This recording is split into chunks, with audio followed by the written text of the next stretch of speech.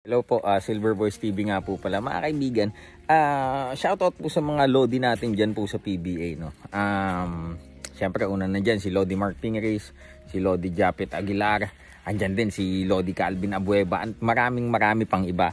Eh bakit po tayo para bagang ah, umiiyak po tayo sa mga panawagan ng mga basketball fan? Eh iba ba yung panawagan ng basketball fan ah, na kagaya ni ah, Boss Rendon dahil ah, social media influencer siya?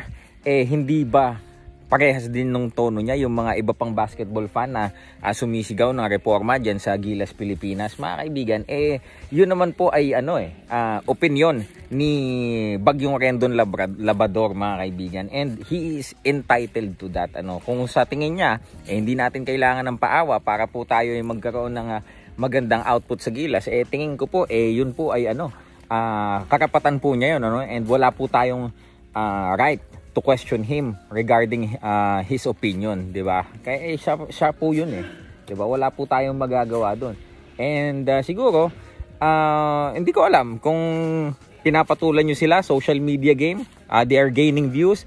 A lot of uh, content creators are also gaining views uh, from that ano mga kaibigan at doon din po shoutout diyan sa mga uh, fan diyan o sa mga bashers or trolls diyan na nagtatanong bakit? Ano bang pakialam mo? Ba't ka nakikisa sa sausaw excuse me lang di ba? Real talk lang tayo dito.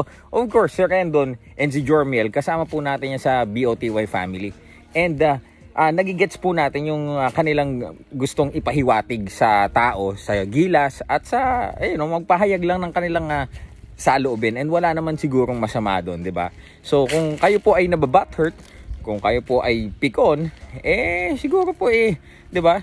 Ah, ang tanong diyan is paano niyo i-handle 'yon, 'di ba? Ah, paano niyo ah tawag dito i-handle yung mga criticism?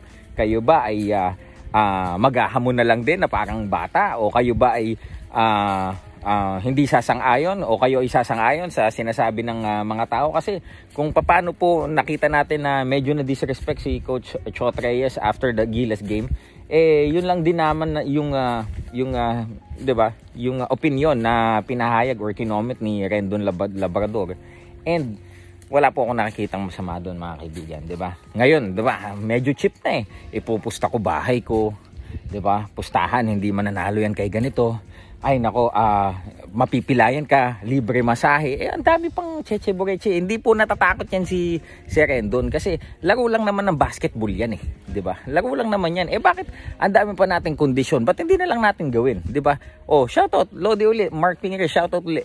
Patulan mo na si Bagyong Rendon, 'di ba? Mag one on one kayo. Makikita ng publiko, may entertain kami ngayon kung talagang game si Lodi Calvin Abueva dito kay Jormel. Alam ko mali yan ang super mismatch kasi uh, medyo matangkad pa ako ng konti kay Jormiel eh. So uh, hindi ko alam kung paano mangyayari diyan. Masahing masahe talaga mangyayari diyan kay uh, Jormiel. Pero naniniwala ako sa lakas ng loob diyan ni ni Jormiel no. So, mga lodi, yeah, let's get it on. Wag po ko dakdak, 'di ba? Kailangan you walk the talk. So, abangan namin yan ha. Peace.